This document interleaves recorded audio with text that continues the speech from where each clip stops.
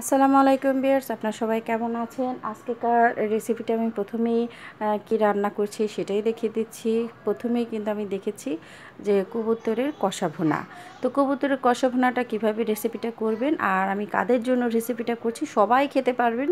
কিন্তু বিশেষ করে আমি যে ডেলিভারির যে মায়েরা থাকেন তাদের কীভাবে সেবা করবেন বা যত্ন করবেন, কীভাবে তাদের খাওয়ানো উচিত সেই অনুযায়ী আজকেকার ভিডিওটা। তো ভিডিওর প্রথমে আমি দেখিয়ে দিচ্ছি যে আমি কড়াইতে তেল দিয়ে দিলাম। আর এখানে আমি আপনার নিয়েছি কবুতর।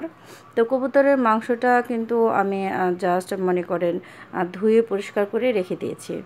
তো যেহেতু পেঁয়া চুলাটায় বসিয়ে দিয়েছিলাম সব ময় মশলা সহ তো ওগুলো একটু হালকা ভেজে আমি কিন্তু পেঁয়াজ, কাঁচামরিচটা দিয়ে দিলাম। তো পেঁয়াজ, কাঁচামরিচ হালকা পরিমাণে ভেজে নেব। যেহেতু আমি এটাকে কষা ভুনা করব, এর জন্য পেঁয়াজটাকে আমি একটু ভালো করে ভেজে নেব।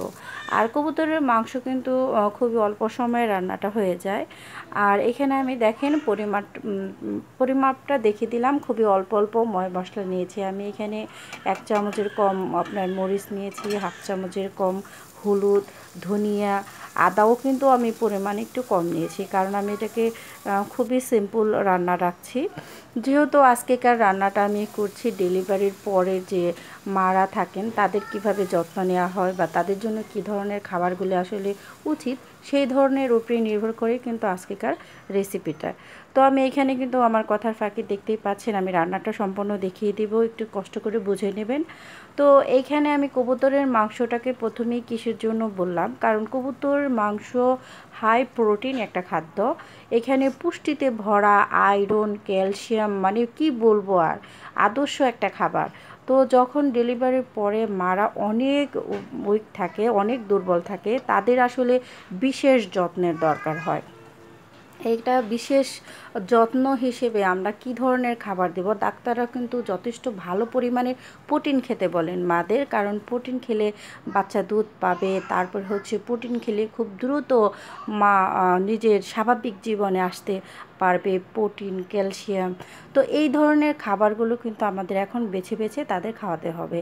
আর যেহেতু আপনার ডেলিভারির পরে, আপনার নর্মাল ডেলিভারির পরে দেখা যায় অনেক সময় যে আত্মীয় স্বজন থাকেন বা আপনার যে বয়োজ্যেষ্ঠ মানে নানি, দাদি বা মুরব্বীরা থাকেন, তারা কিন্তু একটু শুকনো খাবার খেতে বলেন।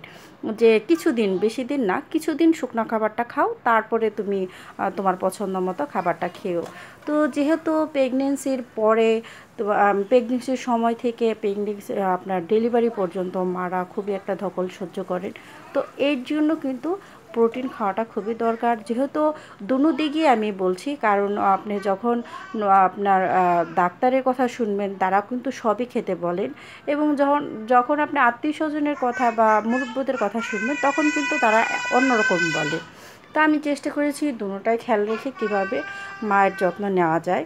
তো এখানে আমি কবুতরকে কষা ভোনা করেছি, একটু শুকনা রেখেছি আর পেঁয়াজের পরিমাণটা রেখেছি আর হলুদ, মরিচ এগুলোর পরিমাণ কম রেখেছি। যেহেতু মশলার পরিমাণটা একটু কম খাওয়াই ভালো, নতুন বাচ্চা সে যেহেতু মার কাছ থেকেই খাবে, যদি মা বেশি ঝাল খেয়ে ফেলেন, সেই ক্ষেত্রে কিন্তু বাচ্চার অ্যাসিডিটি হবে, অর্থাৎ পেট ফুলে যাবে, কারণ মার কাছ থেকে কিন্তু বাচ্চা তার খাবারটা পায়। তো মাকে সেই দিকটা খেয়াল রেখেই কিন্তু আসলে খাওয়া দাওয়া করতে হয়। তো আমি আজ, আজকে রেসিপিটা খুবই সিম্পল রেখেছি জানি যে কেউ বাসার থেকে তৈরি করে তাকে খাবারটা দিতে পারে। খুবই সিম্পল তো আমি এইভাবে রান্না করে আপনি যদি আপনার যে ডেলিভারির পরে রোগী এরা যদি খান তো অনেক উপকার পাবেন। আমি বিশ্বাস করছি অনেক উপকার পাবেন, কারণ আমি যেহেতু নিজেও একজন মা সেই ক্ষেত্রে আমরাও কিন্তু এইভাবেই আসলে টেক কেয়ার করা হয়েছে। কীভাবে দ্রুত সুস্থ হয়ে যাওয়া যায় বা স্বাভাবিক জীবনে ফেরত আসা যায়, সেইটাই কিন্তু আসলে বিভিন্ন খাবারের মাধ্যমে আপনি আপনার পুষ্টির চাহিদাটাকে পূরণ করতে হবে। তো যেহেতু পুষ্টির চাহিদা আপনার কিন্তু এভাবেই পূরণ করতে হবে, তো আপনি চেষ্টা করবেন খুব ভালো পরিমাণে যে প্রোটিন থাকে, আপনি এখানে আপনার কলিজা নিতে পারেন, এখানে আপনি একটু গরুর মাংস নিতে পারেন। তো যাই নেন, পরিমাপটা কিন্তু এক বাটির বেশি না হওয়াটাই ভালো, কারণ প্রথম অবস্থায় পেটটা খালি থাকে সেই ক্ষেত্রে একটু শুকনো খাবার খাওয়াটাই ভালো। তো আমি কবুতরের মাংসটা, এর জন্য এসেছি কাউ কবুতরের মাংস কিন্তু কোনো রকম কোনো অতিরিক্ত ফ্যাট নাই এবং খুবই, আপনার মাংসর মধ্যে খুবই উন্নত মানের মাংস হচ্ছে কবুতরের মাংস। তো আশা করছি আজকের ভিডিওটা যারা দেখবেন বা যাদের উপকার আসবে অবশ্যই আমার চ্যানেলটির পাশে থাকবেন সাবস্ক্রাইব করবেন, পাশে থাকা বেল আইকন ক্লিক করবেন। আর যদি কোনো প্রশ্ন থাকে অবশ্যই কমেন্টস করে জানতে পারেন।